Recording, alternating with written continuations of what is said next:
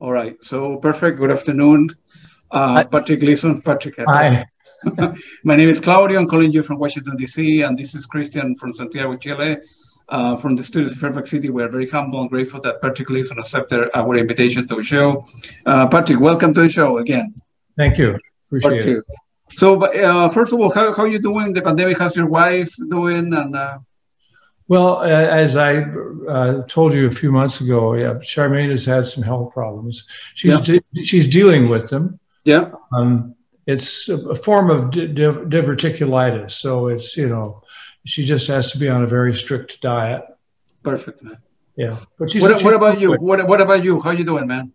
Managing the pandemic, I'm, go. I'm, I'm going to be like the one horse Shay. You know, I'm just going to keep going on just fine, and then one day I'll just drop. All right, that's that's good, man. Yeah, things are. I was telling Christian that here in the United States, you know, there's vaccine for everybody. Some people choose not to take it, and people like myself decided, you know, a long time ago that that's the way to go. And people believe on it. Some people believe it, but hopefully we'll get out of this mess. And yeah, hopefully, you know, you can you can play with your trio, and then I can see shows, and, and yeah. people can come back to a, a normal life. Um, so, so feel free, Christian, to start with the, the some question, and then we we kind of piggyback. We go back and forth. So. Thank you, Claudia. Hello, um, Mr. Patrick Gleeson. What an honor! Greetings from Santiago, Chile. Uh, greetings from a teacher. I, I, you don't have to know this, but I teach English. I've been doing that since the late '90s, and oh. I, I studied to become an English teacher. But then I went to work on radio. Life okay. strange ways. Uh, yeah. So uh, I I understand that well thank you for the time. Uh, I was I, I, was sad that the last time you met with Claudio, I couldn't not participate, but everything comes in time. So yes. good things come to those who wait, they say, yes. don't they? Yeah. So um, well, um, thank you for being with us. I've been a big fan of your music for many years. Uh, yeah, and I was going to mention Rainbow Delta that you can see at my back uh, in my record uh, display. It's just reissued. I want to show you something. Oh, I was wait. Wow, I've been waiting for that one. Yeah, the new CD of Rainbow Delta. Oh, right. What? It's just out. It's fantastic. BS, yeah. Records.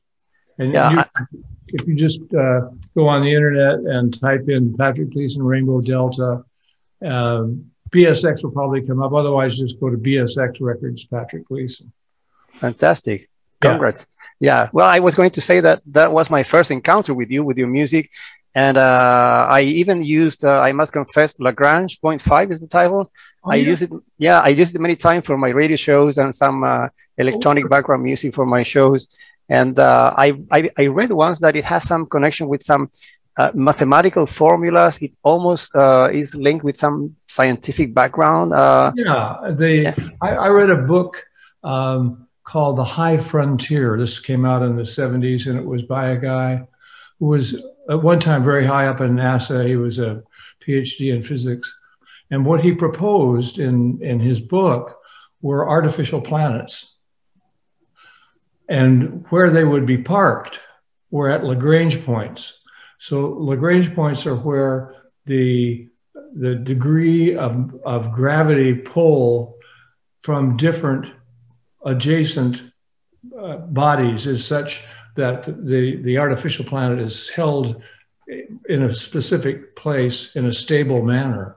So you can have uh, what he proposed were sort of disc shaped, uh, one mile in diameter um, foundations and a big dome above that. So there would be 10 million people living in one of these artificial planets. I thought that was tremendously hopeful and it hasn't it hasn't turned out to be quite as hopeful as, as we thought because he thought by this time we would have several artificial planets going, but we don't. Yeah. Interesting. Now, I, there's another work that I admire you for. That is uh, Lenny White's Venetian Summer. I love uh, it. Uh, yeah, and we were. I mean, fans were uh, lucky that Wounded Bear Records rescued from from, from oblivion. Yeah. Uh, yeah do you recall any particular aspects of the production or your contribution to the overall oh, yeah. sound of, of that sure. One? Well, I don't know if Lenny credited me or not, but I was the producer. And so it was my, and we recorded it at Different Fur, my studio. Yeah. So it was up to me to get, put everything together. So I contacted, um, uh, well, Lenny, Lenny contacted some of the players and then I contacted uh, Tower of Power to do the, the horn tracks. Yeah. Yeah, and uh, it was it was a marvelous. I mean, the people on that album, man, those are yeah. heavyweight. Viola, yeah. yeah, and they were all a delight to work with. Those people were just great. Yeah, and Lenny too. I have to tell you a funny little story about. At that time, I, I was married to uh, Patricia Barham, was her name, and her mother was staying with us at, at, in, at the studio. My apartment was above the studio. So she was staying with us. She did not approve of me. She thought I looked like Charlie Manson, which I sort of did. At that point, I had a beard and long hair. And, uh, and she just in general, you know, wished her daughter were with somebody a little straighter. But then this one day, Lenny came up. Now, Lenny would be like this kind of person's worst nightmare. I mean, here's this this extremely hip black man with a wearing a, a big cowboy hat and giving off New Yorker vibes, right? So he and I started to work on a tune together on my I had a Fender Rhodes up in the in the living room in the apartment. And at a certain point, I looked over at this woman, my mother-in-law, who just never approved of me and never liked me. And she was just barely awake. And she was rocking back and forth to the music we were making, and she had this huge smile on her face. After that, she went back to hating me, but for, for a minute, she, she, she really got it. She That's a good story, man. And weren't there any further contributions, Lenny, Lenny White, after that one, after the Venetian Summer?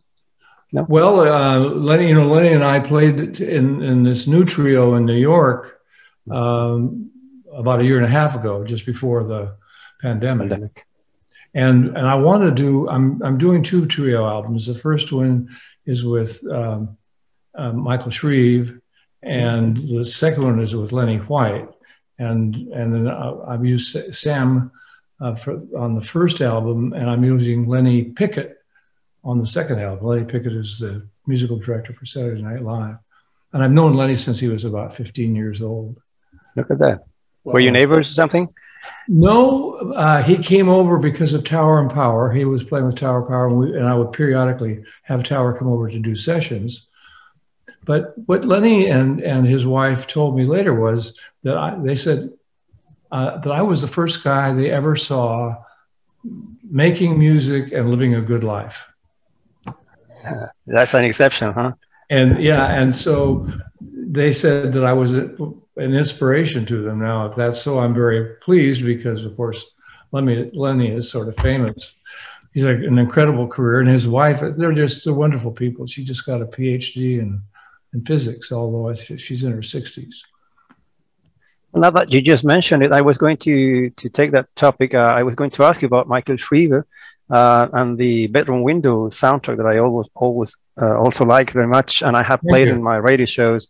Uh, I read about an unreleased album somewhere, and you just mentioned that you have a project about something, maybe a new album with him. a new album with, with Lenny and and uh, Sam Morrison. It's a trio album. We had started it. We we started it by recording live in Seattle. We had a professional engineer who came to the club and did a great job of recording it. But then I just felt myself that the music wasn't ready. You know that we really hadn't taken it where it needs to go, and um, so I, I, I, started over at a certain point. And then I've also gotten a little bit diverted because I'm, I'm just in the process of completing a quadraphonic album. Look at that. Yeah, yeah. This, this is the, um, Suzanne Ciani came out with a quadraphonic album about uh, four years ago. Four years ago, yeah. And this is with the same producer. So uh, when I played Moogfest, I met the guy and he said, you know, I really want to work with you. I thought, great, but he's incredible. I mean, he's, his name is Cameron V. He's, he's an amazingly smart guy, very musical, but also very heavy, heavy into audio engineering. Well, do you, Patrick, do you work with, uh, I think, uh, one of the early members of you know, Power Tower Power was uh, Hoover Tubbs. You know him or Who? Hoover T U V B S? No, probably without. In the seventies, probably you don't know. He was he was from Oakland, California as well. No, and then he ended up moving. He's in Europe now, but he Okay. was one of the early singers of the. What was he? What does he play? Uh, he he was a singer, the main singer of Oh, Tower of Power, and in oh, In this- okay, yeah, right, right. yeah, he he. I thought you may remember. And uh, but go go ahead, Christian. I just wanna. Yeah, I, I meant to ask you, uh, Mr. Gleeson, uh, you were planning a trio or an album with Mike uh, Shrieve included? I didn't get Yeah. it, but yeah. Yeah, Michael Michael Shrieve and Sam Morrison. Sam Morrison Okay. was with Miles uh, in the '80s, and um, one wonderful, wonderful reed player, very, very fluid, and um, we'll come out with that album, but it'll probably be, I'm going to say another year because we, first I've got to get the album, the, the quadraphonic album out, which will, we're going to release it in August. And then I hope to tour that album. That's a solo album. So I'll probably do that first. But now we're living in the age of uh, uh, 5.1 and all those remix, remixes and remastering, uh, remasterings. Uh, I wonder if that uh, quadraphonic format is easy accessible to, to people like these days. Well, Um, that's an interesting point. I want to tell you about that. It's very interesting.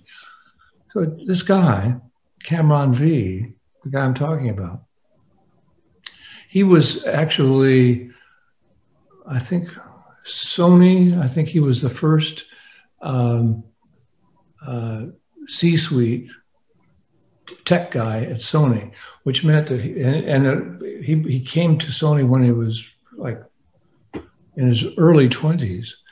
And he left in his late 20s, by that time having accumulated, I'll just say, a considerable amount of money. You're in the C suite at Sony, you're going to be do well. And he, and he realized that this was not what he wanted to do. What he wanted to do was music technology, where he decided what the technology was. He's come out with this uh, particular kind of new waveform, which is what they used also on Suzanne's album, which is, um, he calls it Quark, Q U A R K, which is kind of a joke. It's an Yeah. artificial element. Um, but what the, what the Quark wave file does, it senses what the output is. It's smart. And if it's playing into a stereo environment, it plays the album in full in stereo. And if it's if it senses a quadraphonic environment, it sends four outputs, four separate outputs. So it's kind of a magical, it's almost like a magic trick. And you can you can put these uh, files up on Spotify, so people can go to Spotify and pull off an album which they can listen to in stereo or listen to in quad. Uh, SACD is a is a good format, but of course you can't play it in, in stereo. What is SACD will only play in, in quadraphonic. This one will play either way. And then the other thing the same guy is doing, he set up a, a, a plant in the, the Netherlands which is now making they're just starting to i don't think they've actually come to to assembly line process but he's in fact he's there this week. And what they're going to have is uh, a, a plant that will produce quadraphonic disc cutters for guess how much money? Very little. thousand dollars Oh, wow. thousand dollars. So, and then after you've cut the album, you can play the album on the same cutter. So it's it's a it's a revolutionary new device, and I think between the the general new interest in in, in certain kinds of uh, enveloping environments in, in music, and and the technical achievements, I think I think we're coming to a new age of quadraphonic. I mean, basically, when you go to a theater, you're you're hearing a 12 or a 14 channel system. So why do you want to hear a two channel system when you go home? Why, why do you think uh, that it didn't work out in, back in those days, like in the 70s, mid 70s? Because Sony press, they, Sure. they came out with a big, huge catalog. Uh, Yeah. if I can find it easily. Let me just jump away for a second here. Yeah. this is the new quadraphonic version of the, the album that Herbie and the guys we all made together in the early 70s. It sounds incredible. The, the, the, Sony engineer that took over making the stereophiles quadraphonic really took it to heart and uh, he did a wonderful job. So this is now out in quad. you have to order it from England, unfortunately. It takes about six weeks. But anyway, yeah. Okay, thanks. Now, if, uh, I wanted to ask you also um, about the best memories you have uh, from a different fur. I know that you uh, established that recording studio, then you sold it, but uh, you you have some, some, sometimes, sometimes sorry said that you were like a group of helping or helpful hippies of some sort. Yeah. Oh yeah, very relaxed. It was a commune. Yeah, it was a commune. So John Vieira, John was a hip, you know, a hippie electrical engineer. Uh, he quit his straight job and bought a Moog synthesizer, but he didn't know anything about music. So I came along and I said, let's hook up the two of us. I'll, put in some money to make the, the Moog bigger. And then we need to find a place where we can have a little studio. So that's how Different Fur came to be you know, I'm, what, what happened to that studio eventually is just crazy. I mean, everybody recorded at that little studio. I mean, we had Stevie Wonder. I mean, everybody was there, um, and particularly from from uh, black music, and and also disco. We had Sylvester and all those guys. We had both the we had the several gay um, men's labels, and then we also had both lesbian labels recorded at Different Fur it was, I mean, it was just a wonderful experience because we really weren't business people. We were people that loved music. We needed a studio to make our own music. And then because that was kind of expensive, we rented the studio out. But, but then it became, I don't know, kind of a, a society. And, and I, I found um, my studio manager, now sadly gone, but she, but she, Susan Skaggs was her name she was just an amazing woman and she loved musicians. She was so she was filled with empathy. So when when a, a musician came to Different Fur, they didn't feel as if they were in a commercial establishment. They felt that they were among friends. And I think that's why the studio had this incredible success because people felt comfortable there. Yeah. Uh, Patrick, feel free to elaborate. I, I know the story, but probably Christian doesn't know that when you end up selling, remember that many real estate uh, developer in San Francisco ask you for, and then you end up selling to the lady and she couldn't have the money. Remember, the story yeah. was like she said, you know, if whoever's want to sell the studio, please, yeah, let's try to work something out. And yeah, feel free to elaborate on the story. It's a, it's a very good story.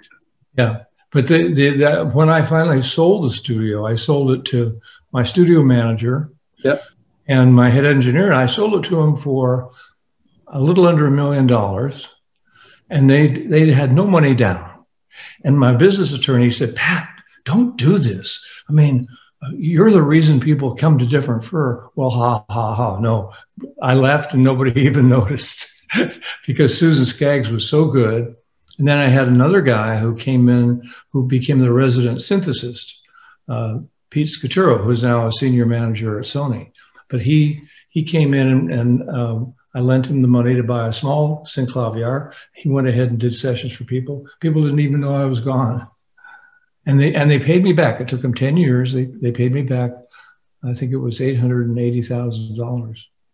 Wow. Nothing story. down, never missed a payment. that's that's beautiful. Yeah. Yeah, it is. Interesting. Now, um, I was going to to remind you, you you've mentioned the respect factor in adapting classical music to electronic. Maybe this is too old for you, but uh, what was the reaction to your adaptations of Vivaldi, uh, you know, Holst? I think that the Holst album was a little bit of an issue regarding the Holst estate back in those yeah, days. Imogen, his daughter, hated it. Um, well, you know, uh, there's, there's there's two stories I'd like to tell you if I could about th- this. The first, of course, was the one you mentioned. Um, so at a certain point, I decided I was going to do this classical album, and I went ahead and went in the studio at night and, and did the first movement of Holst's Planets. So I sent it to RCA. I don't even know why I sent it to RCA, but I just sent it to, to one uh, company. They wrote me back very quickly, I think in about two weeks, and they said, you know, we love the album. Unfortunately, we've already signed another artist, Isao Tomita, to do the same piece of, of music. So then I, okay. So then I finally, there was a woman who was the head of class Mercury Classics at, at Mercury Records, and she was a, a kind of a, a, person who liked to stir things up a little bit, and she wanted to change what was going on in music. So I thought, oh, this will be a great company to go to. So I sent it to her, and and they they took it. But then they found out that Imogen Holst would not allow the music to be played. She felt it was a desecration of her father's symphonic poem. But the, then the Mercury lawyer said, excuse me, I said, wait a minute, you know, uh, you've already issued a license to, to, Tomita and RCA. said, no, we haven't. Yes, you have. So they confirmed the fact that the Canadian branch of the company, without notifying Imogen Holst, had gone ahead and approved Tomita's releasing it. At which point, Mercury said, okay, you can tell us we can't release it as well, but then we're going to file suit against you because you've already uh, allowed another artist to do the same thing. So with that, we were able to do it. So that's one of the stories I wanted to tell you. The other one is briefer. I have to say, look, I'm looking back on my career, which I'm doing right now. I'm part of this release um, of this new quad album. It has a couple of CDs in it, which sort of span from my first record with Herbie up to the present, and about two hours of music. So I'm listening to this music and I'm, I'm thinking, you know, really, uh, even though the the, the, my version of the planets was nominated for uh, a best classical engineering Grammy. Um, even though um, it, it, was favorably received, and in retrospect, I'm not that crazy about what I did. I, because I think I'm, i really missed a bet. And, and you know, look, look, listening to the to the whole planets honestly, it's not the greatest music in the world. It's big, it's flashy, it, it's it's not really great concert music. What it is, if you listen to the, some of the umpa rhythms, it's just incredibly good circus music. And what I should have done, I think, is played with that idea and made it, you know, a sort of a Faustian uh, 30s German uh, decadent nightclub like version of circus music. I didn't do that. It's too straight. Um, I, I think, yeah, I just, I, I missed a bit. This, this makes me jump to another question I have at the end of my list. Uh, maybe it fits this moment. What is something that you still feel you haven't accomplished in the electronic music scene that you feel you should work on or complete someday? Maybe uh, another classical piece of music, you know? No, no, no, never, no. never any music now except my own. Um, I kind of feel, I mean, I may feel differently in a year, but I, I kind of feel the music on this quad album is so much stronger than anything I've ever done before. But I've been working to get there for the last maybe close to 10 years. Um, and I mean, maybe, in, maybe, maybe in another six months, actually, I hope in another six months, I'll feel like, okay, there's some new further direction to go in. But I'm very pleased with this music because it, it really is unashamed about reaching out and grabbing certain features of uh, American minimalism, Steve Reich, Terry Riley, chiefly. Um, and but it also addresses everything I learned when I was with Herbie and, and working as a, as a composer and arranger for lots of jazz musicians. So it's, it really is contemporary jazz. And also, it really is contemporary electronic dance music because I've, I've, I've, what I've done is I've, I've, inserted a lot of very interesting rhythms that cross each other. So it's got the boom, boom, boom, boom, but it's also got so it's got this steady beat, but it's also got all kinds of jazzy beats going on.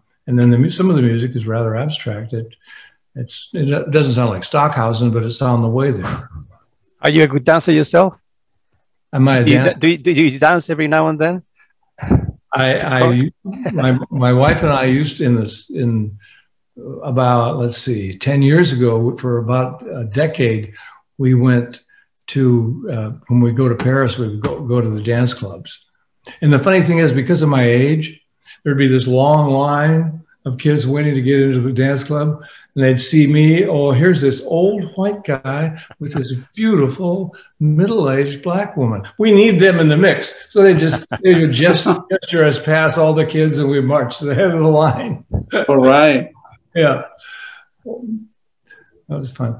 We haven't done that recently, but you know, there's a lot of the clubs in in uh, Paris have had some problems too. Like everywhere else, yeah.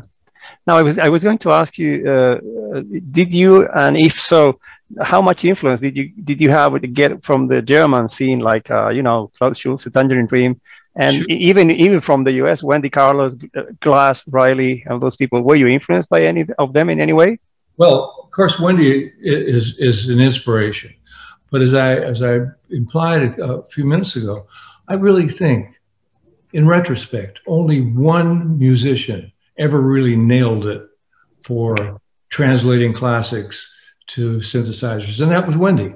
I mean, she wrote wonderful liner notes complimenting me on what I'd accomplished. But the fact was that, in actuality, uh, Tomita and I were probably the two guys that came close, and I don't think we got there you know, I think I think Wendy's work remains uh, at a pinnacle.